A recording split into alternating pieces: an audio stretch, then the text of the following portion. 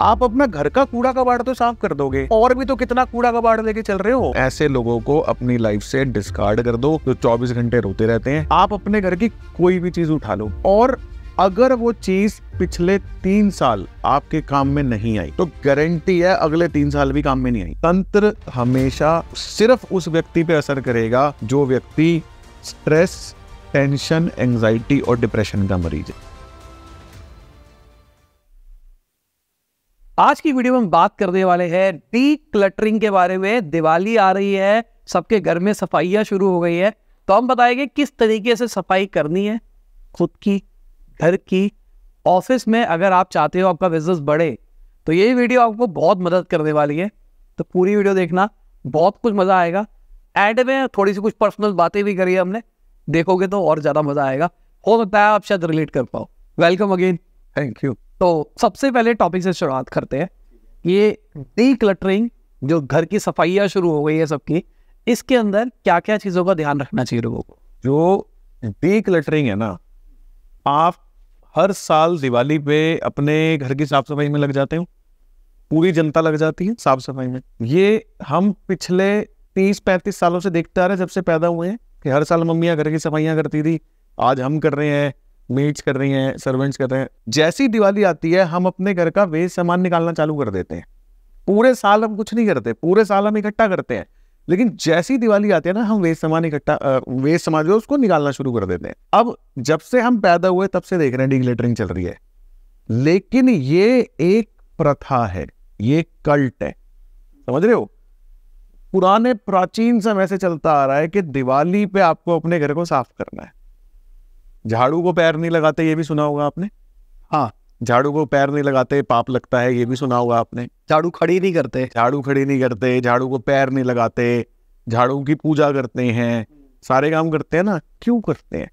क्योंकि अगर आप चाहते हो कि आपके घर में लक्ष्मी जी आए तो लक्ष्मी जी कहाँ पे आएँगी? सिर्फ़ ऐसी जगह पे जहाँ पे साफ़ सफ़ाई हो। गंदगी फैली हुई है अनऑर्गेनाइज है तो क्या लक्ष्मी जी आएँगी? नहीं आएँगी।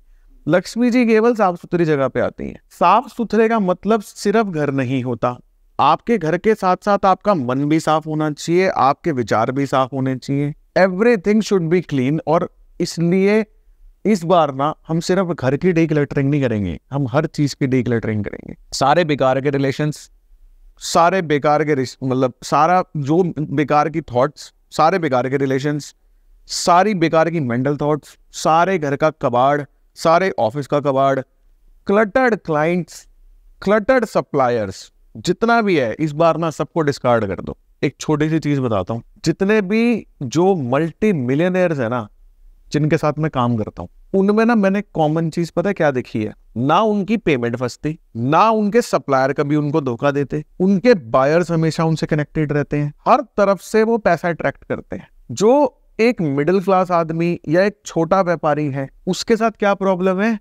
वो 24 घंटे रोता रहता है, माल नहीं बिक रहा। 24 घंटे रोता रहेगा पेमेंट नहीं आ रही। 24 घंटे रोता रहेगा, भाई सप्लायर माल नहीं दे रहे। सिर्फ़ रोता रहता है। तो ये जो डिफरेंस है ना, एक छोटे व्यापारी में और एक बड़े व्यापारी में, अगर हम पैसों को हटा दें कि बड़े व्यापारी पे बहुत पैसा है, छोटे पे लिमिटेड कैपिटल है, कम है। मैं एक फॉर्मूला दे देता हूँ आपको। जितने भी बड़े लोग हैं ना उन्होंने अपनी लाइफ में ना, जो ये डी क्लटरिंग का फॉर्मूला है ना, इसको बड़े तगड़े तरीके से अपना रखा है। उन्होंने पता क्या कर रखा है? एक व्यापारी के साथ में बैठा हुआ। मैंने उनसे ना जस्ट एक क्वेश्चन पूछा। मैंने कहा, जी, क्या आप मुझे अपना व्यापार करने का कोई तरीका या मैं आपसे ना कुछ सीखना चाहता हूँ? जिस व्यक्ति के साथ में बैठा था ना, वो अराउंड फोर्टी थाउज़ेंड करोड़ उसकी नेटवर्थ है। फोर्टी थाउज़ेंड पॉडकास्ट के बाद बता दूँगा कौन है? फोर्टी थाउज़ेंड करोड़ उसकी नेटवर्थ है। ठीक है? तो मैंने कहा, जी, मैं आपसे ना कुछ सीखना चाहता हूँ। वास्तव तो चलो मैं किसी मतलब पैसों का तो इशू था ही नहीं, कोई और एक्सप्रेस इशूज थे तो हम बैठे थे। कह रहे, अभिषेक जी, एक ही चीज़ बोलूँगा। हम सिर्फ़ और सिर्फ़ बनिया है वो तो बनिया लैंग्वेज में क्या कह रहा है? भाई साहब, हम सिर्फ़ ना क्रीम पार्टियों से काम करते हैं। मैं कहा, जी, ये क्रीम पार्टियाँ क्या होती हैं? कह रहे, भाई साहब आपने अगर किसी व्यक्ति को 35 दिन की उधार पे माल दिया और अगर वो व्यक्ति 25 दिन में या 28 दिन में आपकी पेमेंट क्लियर कर रहा है, आपको फ़ोन नहीं करना पड़ रहा, बिना फ़ोन करे आपकी पेमेंट क्लियर कर रहा है, उसको हम क्रीम पार्टी बोलते हैं। अगर आपका सप्लायर है, आप, उसने आपको रॉ मटेरियल भेजा और आपके सप्लायर को पता है कि रॉ मटेरियल एक महीने चलेगा इनकी फैक्ट्री में, अगर वो आपको अट्ठाईसवें दिन खुद फ़ोन कर रहा है कि भाई साहब वो रॉ मटेरियल और कितना भेजना है तो वो क्रीम पार्टी है। बोले, हम सिर्फ़ क्रीम पार्टियों से काम करते तो मैंने कहा, भाई साहब हर बंदा क्रीम पार्टियों से काम करना चाहता है। अब ये क्रीम पार्टी मिलेगी कैसे? कह रहे, मिलती नहीं है भाई साहब, सॉर्ट करनी पड़ती है। मैंने कहा, सॉर्ट करने का क्या मतलब है? कहते, जी, आप छोटा व्यापारी, पता क्या करता है?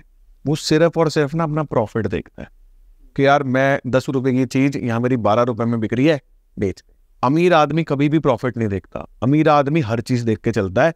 कि भाई दस रुपए का माल मेरे घर में बड़ा हुआ है। अगर मैं इसको देता हूँ तो क्या मेरे को पेमेंट की टेंशन होगी? क्या मैं रात को चैन की नींद सोऊँगा? क्या मेरे को बार बार इसको बिके टाइम पे पेमेंट वो हर चीज़ देखता है। अब वो बोले, जी सॉर्ट करना पड़ता है। सॉर्ट करने का क्या मतलब है? बोले, जी, हम किसी को माल देते हैं, तीस दिन की टर्म्स है। हम पैंतीस दिन तक फ़ोन नहीं करते। बोले, पैंतीसवें दिन अगर हम फ़ोन कर रहे हैं, और वो व्यक्ति हमें बोल रहा है कि भाई मैं एक दो दिन में करा देता हूँ, हम उस पर काटा मार देते बोले, हम बोले, पहली बार, दूसरी बार तो छोड़ो। हम पहली बार में उस पर काटा मार देते हैं कि भैया इसको माल नहीं देना जो बंदा हमें टाइमली पेमेंट दे रहा है, हम सिर्फ़ उससे व्यापार करते हैं। हाँ कई बार क्या होता है, मान लो एक बंदा है, जानकार है, पैंतीसवें दिन फ़ोन किया, उसकी कोई प्रॉब्लम है। तो दूसरी बार हम सिर्फ़ ट्राई करेंगे। अगर वो दूसरी बार में कुछ हो गया ना, हम उसको परमानेंट काटा मार देंगे कितना मर्ज़ी बड़ा व्यापारी भाई हम नहीं देंगे। ठीक है, हमारा माल हम कम काम कर कर लेंगे, लेकिन हमें क्रीम पार्टियों से, अब उन्होंने क्या करा उन्होंने अपनी लाइफ से सारे कबाड़ को डीक्लेटर कर दिया। इसमें क्लाइंट्स भी आ गए, इसमें सप्लायर्स भी आ गए, इसमें सब कुछ आ गया। नॉर्मल बंदा क्या कर रहा है? इसको भी माल दे दे, इसको भी माल दे दे, इसको। फर्जी पार्टियों को माल दे रहा है ना, तभी रो रहा है।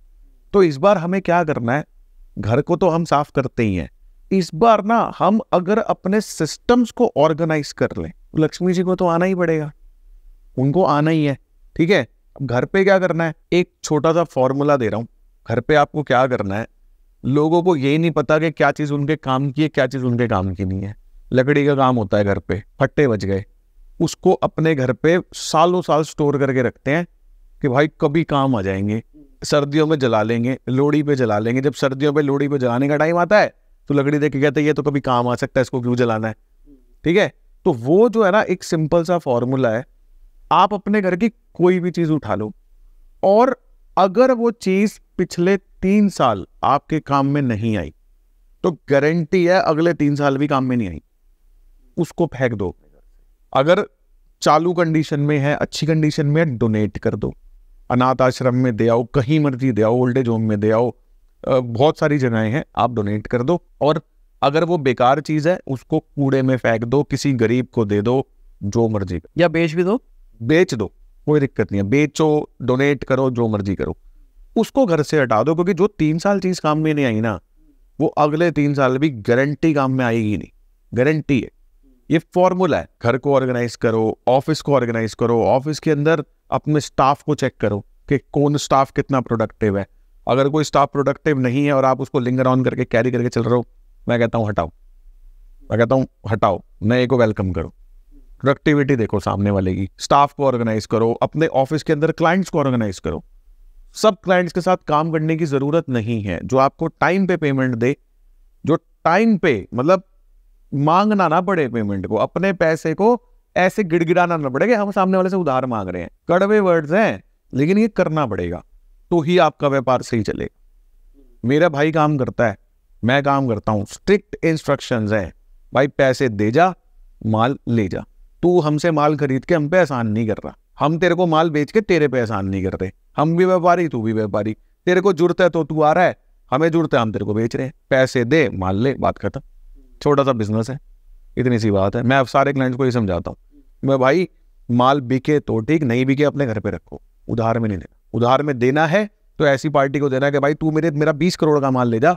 मैं चैन की नींद सो रहा हूँ। मेरे पैसे तेरे घर में ज़्यादा सेफ़ है। मैं आधी रात को फ़ोन करूँगा, तू पैसे दे जाएगा। ऐसे बंदे को माल दो।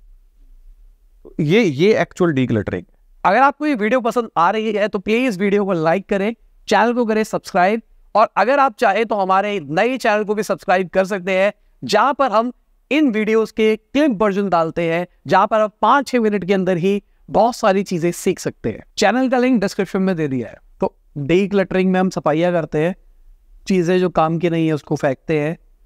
क्या ये एक अपॉर्चुनिटी है दिवाली?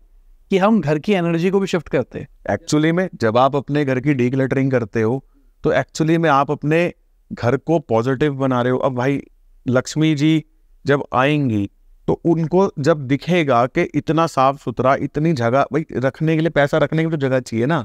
कबाड़ इतना भर रखा है, जब वो हटेगा तो नई चीज़ें आगे रखी जाएँगी।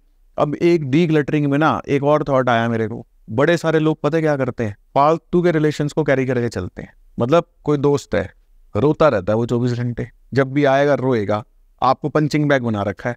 आपके आगे आगे अपने दुखड़े रोता रहेगा और आप सुनते रहोगे, उसके दुखड़े सुन के आपको तो मैं कहता हूँ, भाई डिस्कार्ड कर दो। मैं जेनवनली बोलता हूँ, ऐसे लोगों को अपनी लाइफ से डिस्कार्ड कर दो, जो चौबीस घंटे रोते रहते हैं।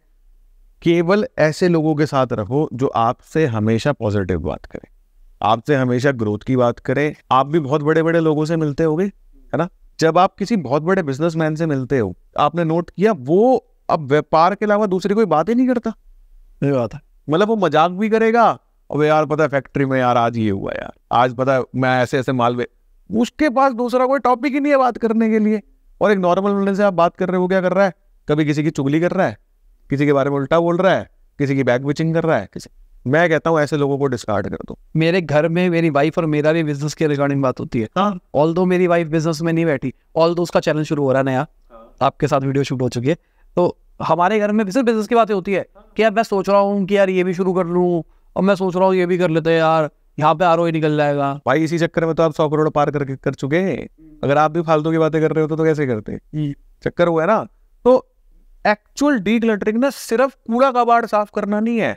आप अपना घर का कूड़ा कबाड़ तो साफ़ कर दोगे। और भी तो कितना कूड़ा कबाड़ लेके चल रहे हो? मेंटल थॉट्स देखो, किसी से लड़ाई झगड़ा हो गया। एक बार ना उस लड़ाई झगड़े की फ़ील्ड से साइड हटके, एक बार पीछे खड़े होके अपने दोनों को, अपने आप को भी देखो जिसे झगड़ा हुआ उसको भी देखो। दो ही बातें हैं। यार, ये बंदा क्या मेरे काम का है? क्या मैं इससे प्यार करता हूँ? या मेरे को इससे सॉर्ट आउट करना चाहिए? या डिस्कार्ड तो हम क्या करते हैं? ना हम सॉरी बोल रहे, ना हम सॉरी बोल रहे, ना उसको जाने दे रहे, कि तू सॉरी बोल, भाई ऐसा नहीं होता। आप या तो उसको सॉरी बोल के आगे बढ़ो, उसको मतलब मूव ऑन करना है लाइफ में ना, या उसको परमानेंट डिस्कार्ड करो कि भाई तू अपने रास्ते, अपन अपने अगर आप अपने घर का वास्तु करना चाहते हैं, या न्यूमरोलॉजी से जानना चाहते हैं अपने बारे में, कैसा रहेगा आपका आने वाला साल, कैसा रहेगा आपका करंट ईयर तो आप हमारी ऐप को डाउनलोड कर सकते हैं। लिंक इन द डिस्क्रिप्शन मेरा सीधा सा इस पर लॉजिक है। जो भी लोग मुझे ट्रेन करते हैं कई बार किसी लोगों से बात करके ऐसा लगता है थक गए। हाँ। जो भी मुझे ट्रेन करता है मैं फिर उससे दूर हो जाता हूँ। हाँ तो ये ये सबसे बेस्ट है। दिस इज़ डी क्लटरिंग ठीक है। ठीक है। तो डी क्लटरिंग घर की हो गई दिमाग की हो गई क्लाइंट्स की हो गई ऑपरेशंस की हो गई कपड़ों की भी हो गई इनफैक्ट कपड़ों की भी हो गई। तो जैसे मैंने सुना है, वास्तु के अंदर जब आप एक ऑब्जेक्ट को उठा के दूसरी जगह पे रखते हो तो उसकी एनर्जी शिफ्ट होती है। तो अगेन मैं मैं क्वेश्चन आपसे आ रहा हूँ कि या ये जब बनाया गया था दिवाली सफ़ाई का लॉजिक क्या इसलिए भी बनाया गया था? क्योंकि मैं मान के चलता हूँ, पुराने लोग सफाइयाँ रखते थे। उनके घर में अभी तो इतने सारा सामान आ गया उस जमाने इतना सामान भी नहीं था। तो वो लोग दिवाली की सफ़ाई एज एन हमारे आज के ज़माने की दिवाली की सफ़ाई नहीं होती होगी। शायद वो हो सकता है एनर्जी शिफ्ट करने के लिए शुरुआत करेंगे नहीं भाई, ये जो कॉन्सेप्ट है ना दिवाली सफ़ाई का, ये इसका जो बेस है ना बेस यही है कि अगर आपके घर में साफ़ सफ़ाई होगी तो लक्ष्मी जी आएँगी। जैसे मान लो भाई, भगवान आ रहे हैं हमारे घर में, माता आ रही है हमारे घर में, अब माता आगे देखे, कपड़े फैले पड़े हैं मतलब कूड़ा कबाड़ पड़ा है, पैर रखने की जगह नहीं है उसके बाद माता घर में एंटर हो तो माता को एनर्जी कैसी फील हो रही है? ये तो अभी झगड़ा इन्होंने तो अभी दो मिनट पहले तो झगड़ा हुआ है इस घर में।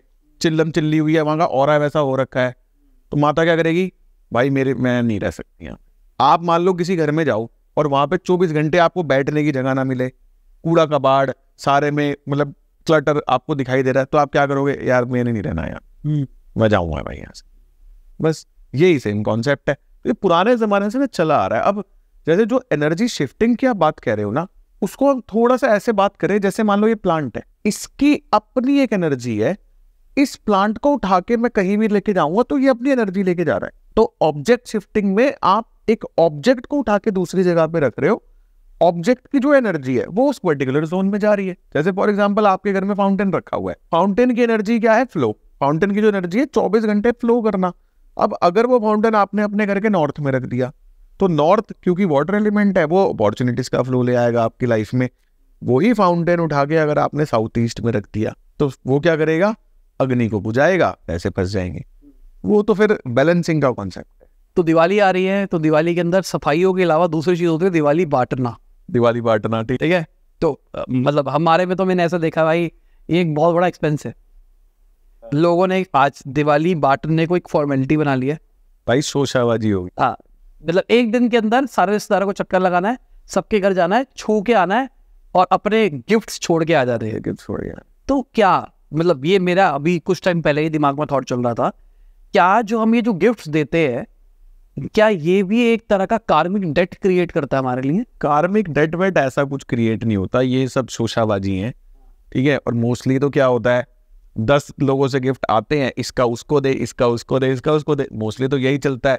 क्या चिप्स के पैकेट जा रहे हैं, टोकरियाँ जा रही हैं, खाने पीने का सामान जा रहा है।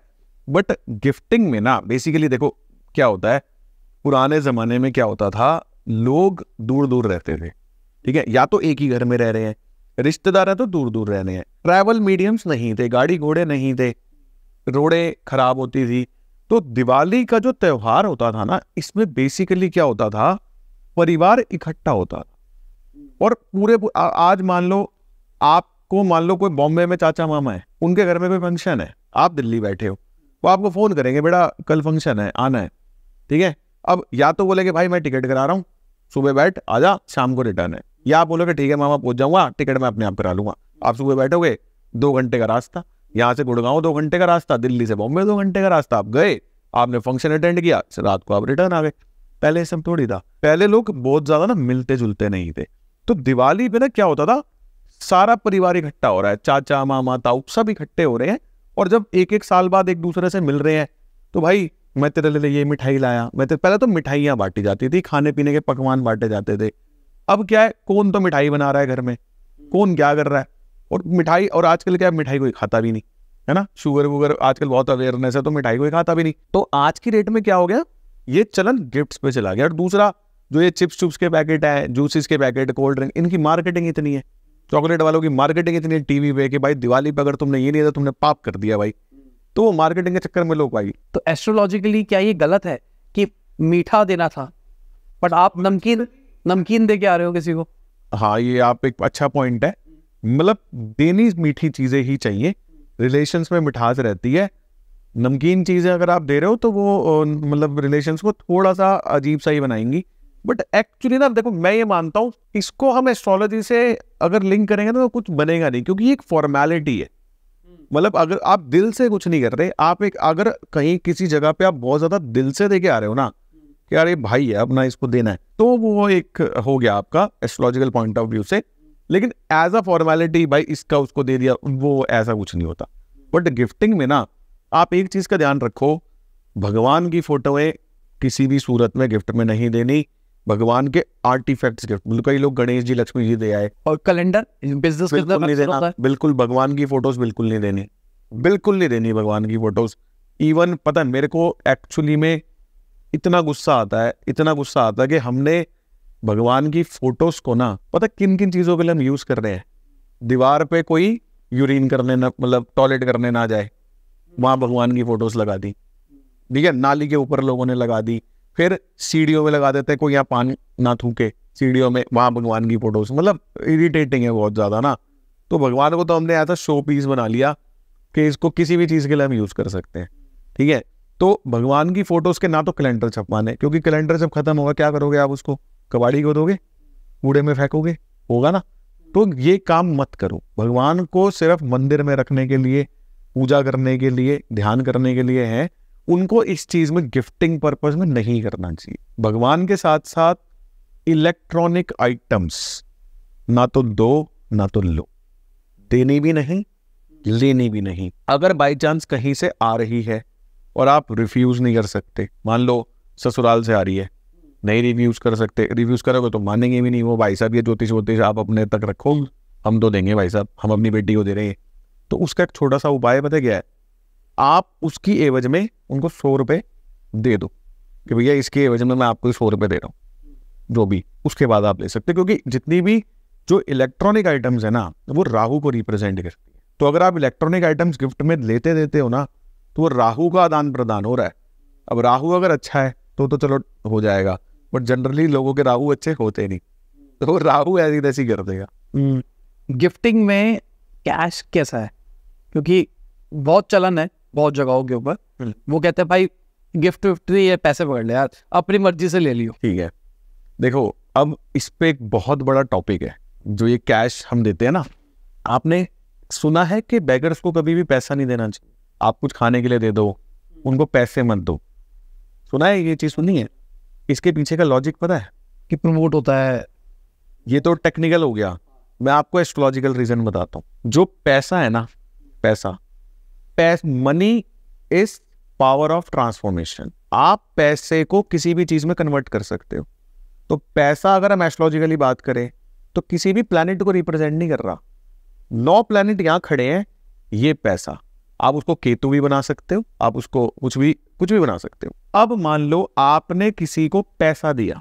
उस पैसे से अभी हम बेगर की बात करते हैं एग्ज़ाम्पल समझाने के लिए। मान लो आपने किसी बेगर को दस रुपए दिए। उस दस रुपए से अगर उस बैगर ने ब्रेड का पैकेट खरीदा, बिस्किट खरीदा, आटा खरीदा, दूध खरीदा, पैसे मिला के तो वो पैसे अगर आपके उसके अच्छे किसी काम में गए तो उसका पुण्य आपको लग जाएगा। लेकिन अगर उस बैगर ने, आपकी इंटेंशन जो मर्ज़ी हो, आप उसके अच्छे के लिए दे रहे हो, लेकिन अगर उस बैगर ने उस दस रुपए से बीड़ी का बंडल खरीद लिया, दारू खरीद ली, नशा कर लिया, कोई भी गलत काम में वो पैसे यूज़ हो गए उसका कार्मिक डेप्ट भी आपको भुगतना पड़ेगा। क्योंकि आपने उसके हाथ में पावर ऑफ़ ट्रांसफॉर्मेशन दे दी कि भाई, जो तेरा मन करे कर, मैं, मेरे को जो लगेगा, तेरी मर्ज़ी।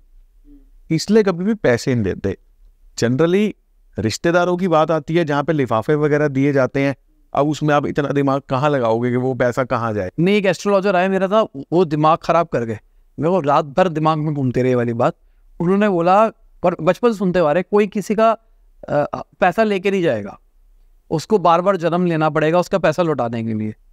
अब मेरे दिमाग में मैं थोड़ा सोचता रहता हूँ इन सारी चीज़ों को क्योंकि पहले मैं बिल्कुल नहीं मानता था। अब मैं मान रहा हूँ तो फिर मैं सोच रहा हूँ कि क्यों हो रहा है। तो मैंने देखा कि भाई अ, मेरे को कोई शादी के अंदर कोई सगन दे के गया था। अब वो सगन के उसको सगन को लौटाने के लिए मेरे को फिर से जन्म लेना पड़ेगा। नहीं भाई वाह भाई ये तो गलत हूँ मैं बताता हूँ मैं बताता हूँ। इसमें भी ना हम बैक में चलते हैं थोड़ा पास्ट में चलते हैं। पहले क्या होता था, लोगों पे पैसे नहीं होते थे। जब शादी होती थी ना तो सारे रिश्तेदार थोड़े थोड़े पैसे मिला के शादी करा करते थे। हमारे हिंदुस्तान में पुराने जमाने से प्रथा क्या चलती आ रही है? खर्चा सारा लड़की के बाप को करना है। लड़की का बाप राजा, लड़की के बाप को सारा खर्चा करना है। दहेज भी देना है, सारे काम करना है, सब कुछ करना है। अब तो खैर ये ट्रेंड खत्म हो गया है, अब तो सब इक्वल इक्वल खर्चा होता है। बट जो पुराना चलता आ रहा था, अब इसके अंदर क्या होता था, जब भी कोई व्यक्ति शादी अटेंड करने जा रहा है ना, उस आज हम भी एक शादी अटेंड करने जाते हैं।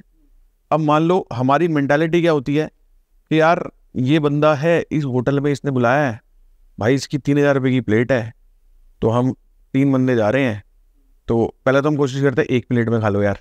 अगले के ज़्यादा पैसे ना लगे। ठीक है? सेंसिबल लोग तो यही करते हैं। ठीक है? और दूसरा हम क्या करते हैं कि यार तीन तीन छः मतलब भाई इक्यावन सौ का तो कम से कम देना है भाई उसके पैसे लगे। तो यहाँ पे क्या हो रहा है ना ये काइंड ऑफ़ एनर्जी एक्सचेंज है। फॉरेन कल्चर पता क्या है? फॉरेन कल्चर में जब शादी होती है हम्म। फॉरेन कल्चर में जो दूल्हा दुल्हन है वो पता क्या बोलते हैं? कि भाई दारू हमारी तरफ़ से खाना तुम मैनेज कर लेना। मैंने एक्चुअली में देखा है। वहाँ पे क्या हो रहा है जब शादी हो रही है ना फॉरेन कल्चर में गोरों की शादी हो रही है वो अपने फ्रेंड्स को क्या बोलते हैं? कि भाई ड्रिंक्स आर ऑन अस खाने के स्टॉल्स लगे वो आपको पैसे दे के खाना है। शादी में आपको पैसे दे के खाना है शादी में। वो कह रहे दारू फ्री मिल जाएगी भाई। दारू फ्री मिल जाएगी वो भी दो पैक। तीसरे पैक के पैसे देने पड़ेंगे और खाना फ्री में खा ले तो यहाँ पे तो ये सब नहीं कर सकते ना इज़्ज़त बहुत है ना। तो वो बेसिकली आप उसको एनर्जी एक्सचेंज मान रहे हो आप जा रहे हो रोटी खा के आ रहे हो और पैसे दे के आ रहे हो। और जो सगन नहीं दे के आ रहा उसको नुकसान होगा? उसको भी क्या नुकसान होगा? अब हाइपोथेटिकली मान के चलते हैं हर एक के रिश्तेदार में कोई ना कोई गलत आदमी होता है। जिसने गलत तरीके से पैसे कमाए हैं या कुछ भी किया है। तो अब उसके घर की शादी है धूमधाम से कर रहा है बंदा शादी। अब कोई वहाँ पे सगन नहीं दे के आया और उसका खा के आया तो उसके ऊपर कार्बन डेट आएगा।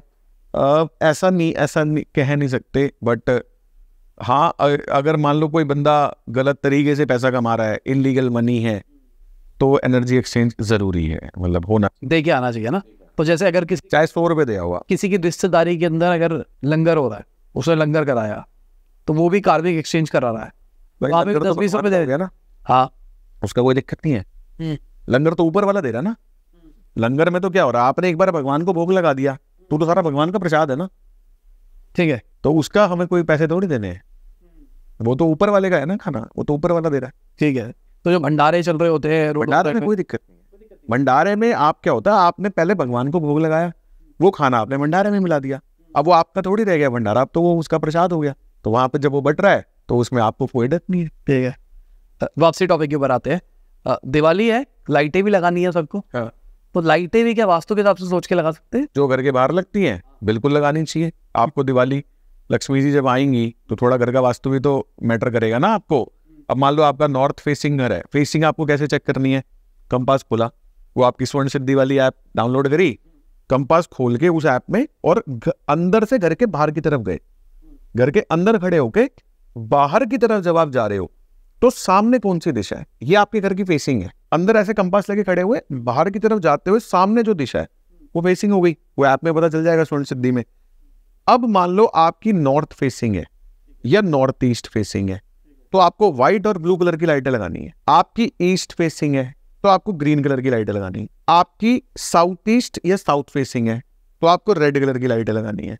आपकी साउथ वेस्ट फेसिंग है तो आपको येलो और व्हाइट के कॉम्बिनेशन में लाइटें लगानी है।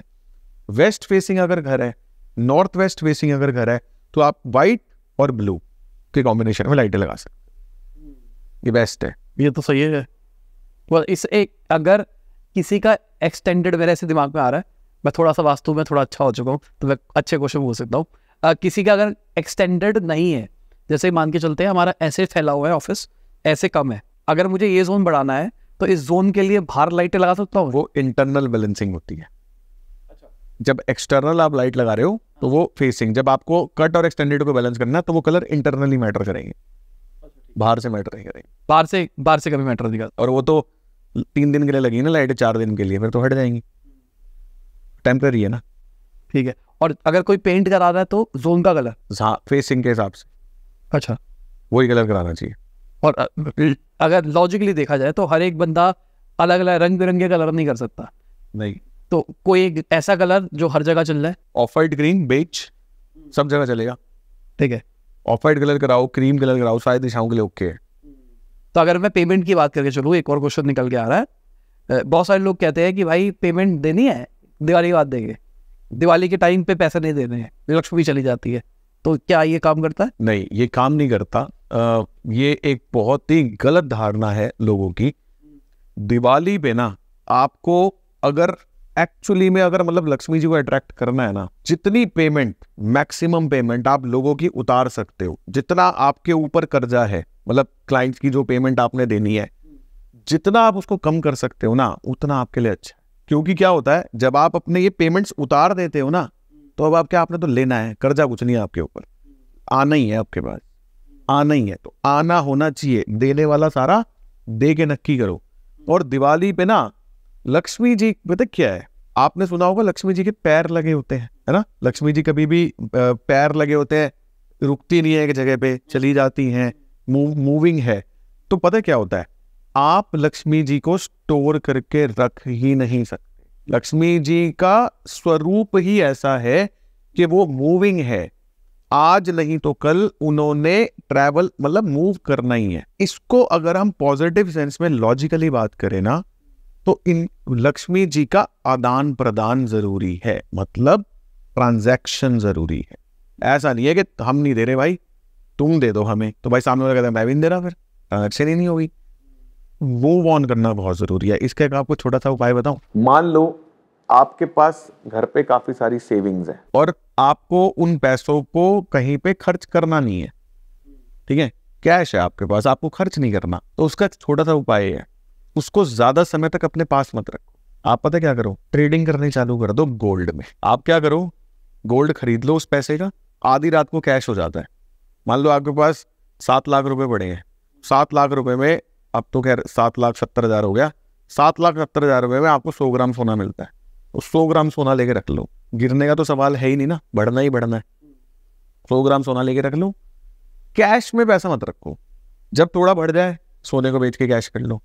फिर थोड़ा सा नीचे गिरे, फिर मूव ऑन करते रहो। मतलब लक्ष्मी जी को जो है ना मूवमेंट में रखो अपनी लाइफ में हमेशा। मूवमेंट में रखना बहुत ज़रूरी है, क्योंकि पैर है ना, चलाते रहो, अपने अपने ही घर में चलाते रहो। अगर मैं पिछली दिवाली की बात करके चलूँ तो उस टाइम पे ना, किसी ने मेरे को एक चीज़ रिकमेंड करी थी, मैंने की नहीं तो उन्होंने मेरे को बोला कि पारत का उल्लू ले लो, और एक चीज़ और ले लो, उनकी पूजा करनी है साथ में, उन दोनों को फिर अलग कर देना है। तो लॉजिकली लक्ष्मी जी और उनका वाहन पहले इकट्ठा रखना है, फिर उसके बाद अलग कर देना है तो इससे लक्ष्मी जी अब भाग नहीं पाएगी। आपने लक्ष्मी जी को कैद कर लिया है। फिर मेरे को किसी एस्ट्रोलॉजर से पूछा मैंने कि भाई ये वाली सीन क्या होता है? तो उन्होंने बोला दिस इज़ तंत्र तो आपने बोला कि लक्ष्मी जी को हमेशा चलती रहती है बट ऐसे ऐसे तंत्र एक्टिविटीज़ भी शुरू हो रखी है। भाई लक्ष्मी जी का वाहन ना इसीलिए उल्लू है। ये सारी ये सारी बातें उल्लू ही करते हैं। तो ये सब ना बकवास चीज़ें हैं कि लक्ष्मी जी को आप कैद कर लोगे या कुछ कर लोगे। एक व्यक्ति कितना कितना था उनकी नेटवर्थ जो आज ज़ीरो है? छोटे भाई छोटे भाई, वो क्या वो बड़े से बड़े तांत्रिक को नहीं बुला सकते थे घर पे? हैं? एक लंदन भाग के बैठा, वो नहीं बुला सकता अपने घर पे तांत्रिक को। तो ये सारी चीज़ें ना मतलब मैं बिलीव नहीं करता इन सब चीज़ों पे ना कि आप लक्ष्मी जी के उल्लू को अलग कर दो, लक्ष्मी जी मैं मैं नहीं मानता ये सब चीज़ें। ठीक है। बाकी तंत्र काम करता है क्योंकि अभी दिवाली आ रही है तंत्र काम करता है। हाइट एंड होता है देखो तंत्र क्या है? तंत्र बेसिकली तंत्र इज़ अ सिस्टम लूप है एक ना कि एक चीज़ बार बार बार बार बार बार घटित होती रहे वो तंत्र है। तंत्र वर्ड थोड़ा सा ना नेगेटिव साउंड करता है क्योंकि लोग इसको बहुत ज़्यादा नेगेटिवली ही यूज़ करते हैं। ठीक है? अपना पर्पस क्या है? अपने को पॉजिटिव वे में यूज़ करना है तंत्र को। पॉजिटिव वे का तंत्र क्या है? सिंपल सी अगर हम बात करें रॉ मटेरियल आया मशीन पे चढ़ा, दूसरी मशीन पे चढ़ा पैकेजिंग हुई डिस्पैच हो गया पेमेंट आ गई, फिर रॉ मटेरियल आ गया मशीन वन मशीन टू तंत्र क्रिएट हो गया ना? ये तंत्र क्रिएट हो गया। घर की अगर हम बात करें, सुबह उठे, सारे खुश हैं, तैयार हुए ऑफ़िस गए, बच्चे स्कूल गए, पढ़ाई करके आए, अपना बढ़िया चल रहा है, रात को आए, सारे खुश हैं, खाना खाया एंजॉय किया, सो गए। सेम रूटीन ठीक है ना? ये तंत्र है। अगर किसी भी जोन में, किसी भी दिशा में, अगर आपके घर में ऑफ़िस में फैक्ट्री में प्रॉब्लम आएगी बेसिकली क्या होगा? ये तंत्र ब्रेक हो जाएगा। है ना?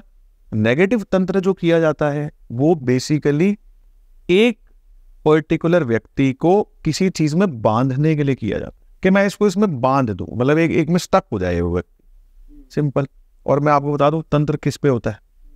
तंत्र हमेशा सिर्फ़ उस व्यक्ति पे असर करेगा जो व्यक्ति स्ट्रेस टेंशन एंजाइटी और डिप्रेशन का मरीज़ है जिसको ऑलरेडी डिप्रेशन है जो ऑलरेडी लाइफ में अटका हुआ है।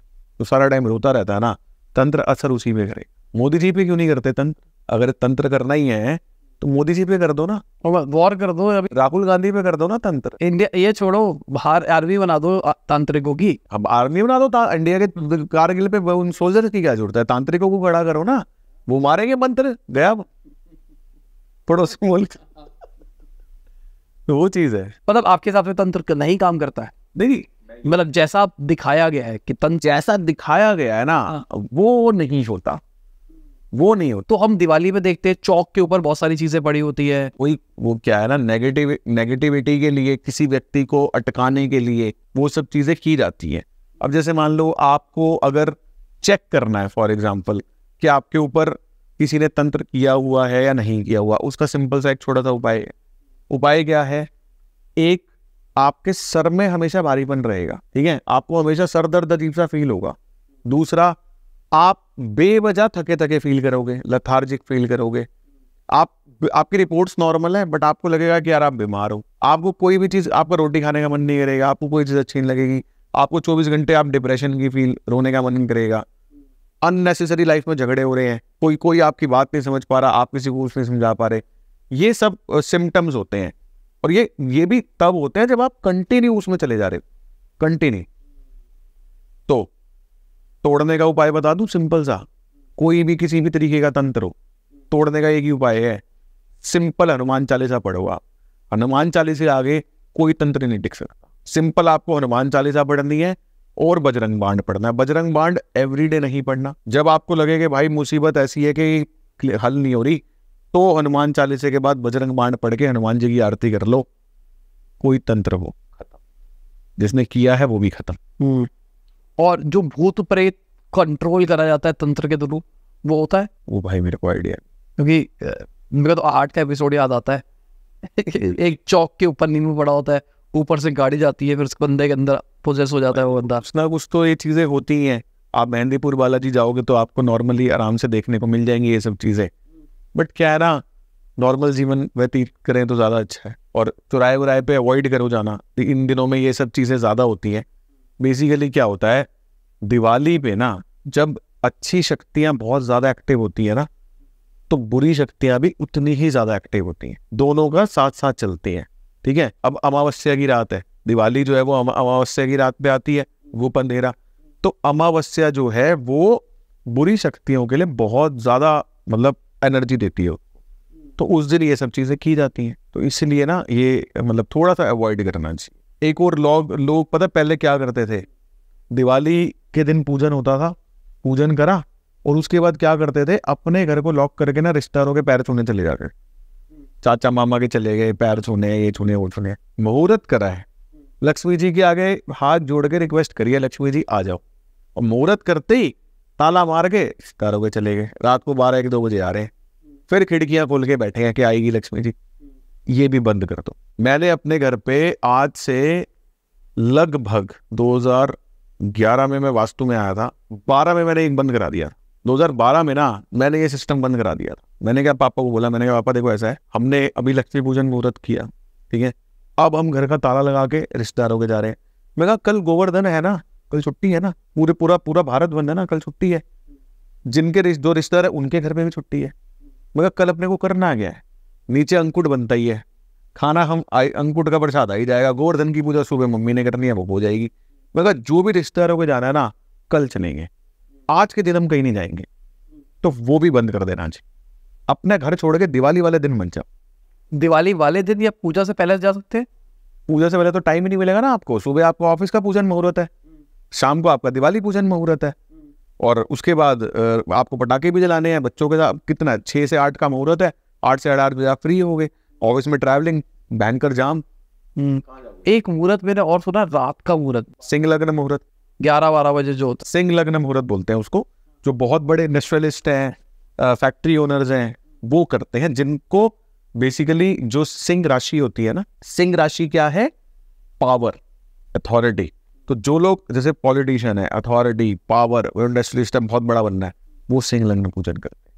वो रात के एक बजे से लेकर तीन बजे के बीच में होता है।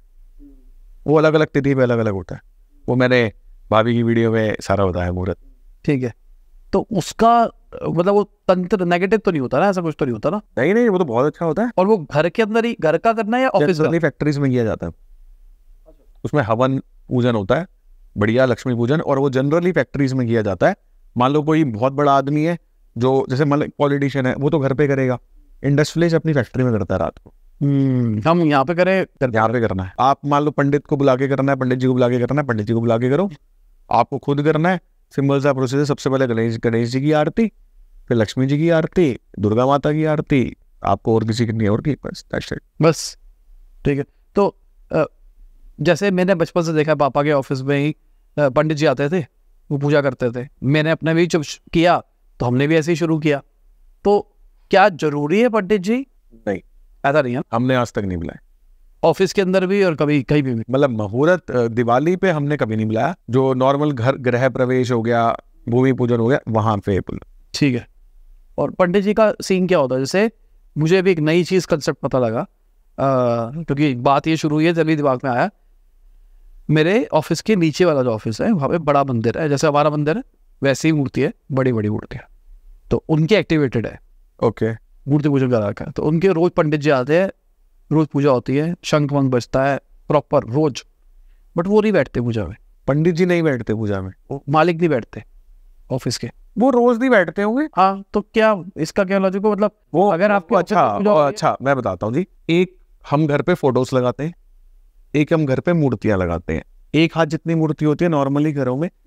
अगर मान लो आपके घर में दो ढाई फुट से बड़ी अगर कोई भी मूर्ति घर में है किसी भी भगवान की तो वो मूर्ति जो है ना, कहा जाता है कि उस मूर्ति को बिना प्राण प्रतिष्ठा के आप अपने घर में नहीं रख सकते। पहली बात तो अपने घर में इतनी बड़ी मूर्ति रखनी ही नहीं चाहिए। क्यों नहीं रखनी चाहिए? क्योंकि आपके घर में, मान लो फॉर एग्ज़ाम्पल आप घर में अंडे खा रहे हो। मान लो, आप घर में नॉनवेज खा रहे हो। गलत है, ठीक है? दूसरी चीज़, मंदिर के लिए मतलब मंदिर के लिए गलत है। दूसरी चीज़, अगर आप प्योर वेजिटेरियन हो तो घर में सेक्स तो हो रहा होगा। किसी ना किसी कपल के बीच में, वो भी मंदिर में नहीं होना चाहिए। तो जो बड़ी मूर्तियाँ है ना, वो प्राण प्रतिष्ठा करके रखी जाती हैं। ठीक है? अब मंदिर में जो बड़ी मूर्तियाँ होती हैं, प्राण प्रतिष्ठा का पता क्या मतलब है? एक बॉडी वो मूर्ति एक बॉडी हो गई। उसमें हमने मंत्रों द्वारा ईश्वर की आत्मा को विराजमान कर दिया। अब वो सिर्फ़ मूर्ति नहीं है। जैसे राम मंदिर में देखा था आपने? पहले डिफरेंट फ़ोटो थी, प्राण प्रतिष्ठा के बाद मूर्ति अलग ही दिख रही है। ऐसा लग रहा जीवित हो गई है है ना? वो प्राण प्रतिष्ठा है। तो मंदिरों में प्राण प्रतिष्ठा की जाती है। अब क्या होता है? अगर आपने एक मंदिर में प्राण प्रतिष्ठा कर दी तो वहाँ तो भगवान जीवित है ना। अब जो व्यक्ति जीवित है, सुबह नहाएँगे भी ब्रेकफास्ट भी करेंगे लंच भी करेंगे डिनर भी करेंगे, फिर रात को सोएँगे भी, है ना? परमात्मा जो है, उनकी सेवा तो उन्होंने ही करनी है ना, जिन्होंने प्राण प्रतिष्ठा कराई है। अब सुबह जो भगवान को नहलाना, वस्त्र चेंज करना, फिर उसके बाद भोजन कराना, अब क्या होता है, हम तो सुबह एक बार नहा लिए, उसके पूरा दिन चल रहा है, लेकिन परमा, जो भगवान है ना, वो दिन में तीन बार नहाते हैं। वो ब्रेकफास्ट के बाद भी नहाएँगे, वो लंच के बाद भी नहाएँगे, वो डिनर के बाद भी नहाएँगे, फिर सोएँगे। ये होता है, ठीक है? तो वो सारा प्रोटोकॉल फॉलो करना पड़ता है अगर आप प्राण प्रतिष्ठा कर रहे हो तो। तो उनके वो प्रोटोकॉल फॉलो करने के लिए पंडित जी आते हो गए वो पूरा प्रोसेस है मतलब उसका ना ब्रेकफास्ट लंच डिनर प्रोसेस है। तो मेरे को लगता था कि सबके सब पूरा ऑफ़िस बैठ के पूजा करता है बट वो बन अभी मैंने घर पे शिफ्ट हुआ तो हमने हवन करवाया। हवन के टाइम पे पंडित जी ने बताया कि, कि हम भी नीचे पूजा करते हैं कभी वो होते हैं कभी वो कहीं गए नहीं नहीं वो वो रोज का ही है ना वो तो रोज ही होगी। तो सबसे पहले थैंक यू मोस्ट वेलकम जी। अच्छा है बहुत कुछ सीखने को मिला होगा डी क्लटरिंग समझ में आई होगी। दिमाग भी खाली करना है रिश्तेदार भी खाली करने हैं दोस्त भी खाली करने हैं और जो आपकी उधारी है उसको भी खाली करना है। घर की सफ़ाई तो करनी ही करनी है जिस चीज़ को यूज़ नहीं करते उसको भी साफ़ करना है। Thank you once again thank you जी। फिर जल्दी मिलते इनकी वीडियो एक और आने वाली है। जल्दी अनाउंसमेंट करेंगे उसकी और मैं आपको पहले बता रहा हूँ कि हम एक और नया चैनल शुरू करने वाले बहुत ही जल्दी। उसकी वीडियोस की शूटिंग शुरू हो चुकी है। शुरू हो गई जल्दी। अब इसका रीज़न पता है क्या है? मैंने चैनल क्यों शुरू किया?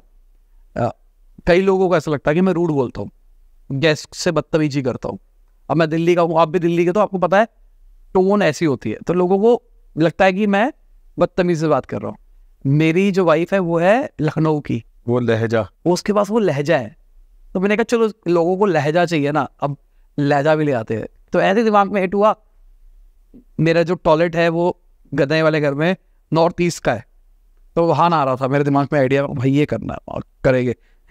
नॉर्थ ईस्ट का टॉयलेट अच्छा नहीं होता। इसके ऊपर हम बाद में बात करेंगे। हम कुछ कर रहे हैं उसके ऊपर। बाकी आप बता दो भाई आपको रूट तो नहीं लगता? मेरे को नहीं लगता भाई। मैं भी दिल्ली का हूँ ना। कई लोगों को वो शायद मेरे को लगता है वो ऑडियंस गलत ऑडियंस को डिलीवर हो गई। नहीं ऐसा नहीं है। देखो मैंने ना एक चीज़ देखी है। लोगों के अंदर ना भड़ास बहुत ज़्यादा है। बहुत ज़्यादा भड़ास है। ना वो घर पे निकाल पा रहे, ना वो ऑफ़िस में निकाल पा रहे, ना वो बाहर निकाल पा रहे। वो क्या कर रहे हैं? वो यूट्यूब पे कमेंट कर रहे हैं। अभी मैंने लेटेस्ट ना एक, मैंने एक वीडियो डाली नॉर्थ ईस्ट टॉयलेट पे। उस पर साढ़े नौ लाख व्यूज़ आए मेरे ख्याल से तीन चार दिन में। ठीक है? शॉर्ट शॉर्ट रील थी सिक्सटी सेकेंड्स की। उसमें मैंने सिर्फ़ एक बात बोली नॉर्थ ईस्ट में मंदिर नहीं होना चाहिए। मंदिर वेस्ट में होना चाहिए। नॉर्थ ईस्ट मंदिर की डायरेक्शन है ही नहीं। पीछे बढ़ गए लोग। कोई ग्रंथ चेक नहीं करा, कुछ चेक नहीं करा, कुछ नहीं करा। एक्चुअली में वास्तु में नॉर्थ ईस्ट को ध्यान की दिशा बताया है कि नॉर्थ ईस्ट में बैठकर वो संस्कृत का श्लोक मेरे को याद नहीं आ रहा। वो कुछ होता है कि ईशान्यम, ध्यान्यम ऐसा कुछ श्लोक है। नॉर्थ ईस्ट में बैठ के अगर आप ध्यान करते हो ना तो ध्यान की प्रतिक्रिया में आप परमात्मा से कनेक्ट हो सकते हो। लेकिन नॉर्थ ईस्ट मूर्तियाँ रखने के लिए नहीं है। मूर्तियाँ रखने के लिए, फ़ोटोज़ रखने के लिए, मंदिर बनाने के लिए वेस्ट है। क्योंकि सारे मंदिरों में सब कुछ वेस्ट वेस्ट। अब वो क्या है ना, पुराना जो कंडीशनिंग माइंड की east facing east facing east चली जा रही है उसका कोई इलाज नहीं है। तो इसलिए ना मैं तो आपको रिकमेंड करूँगा कि आप दिमाग ही मत लगाओ। यूट्यूब पे ना एक वो फीचर है हाइड यूज़र फ्रॉम चैनल वो है, उसको हमारी वीडियोस देखेगी नहीं, ये बात आपसे मैं रिलेट कर पा रहा हूँ। वो वीडियो बेसिकली हुआ गया है? मेरे को नॉर्मली कभी ज़िंदगी में इस चैनल पे हिट नहीं आई है। मेन चैनल बिज़नेस वाले चैनल पे कभी कभार लोग आ जाते थे बट यहाँ पे मेरे को हिट नहीं आई है कभी भी। लोग कहते हैं भाई कंटेंट बहुत सॉलिड होता है। बट वो वीडियो तीन दिन के अंदर चार दिन के अंदर एक मिलियन छू गई। इस चक्कर में शायद रॉन्ग ऑडियंस आ गई। हर तरीके की ऑडियंस चलो ठीक है इसको नहीं खींचते थैंक यू जल्दी मिलेंगे फिर से इनके साथ में। बाय गुड शबागर खुदा हाफिज। गुड मॉर्निंग और जब भी वीडियो देख रहे हैं। जय हिंद, वंदे मातरम। दुआ में याद रखना।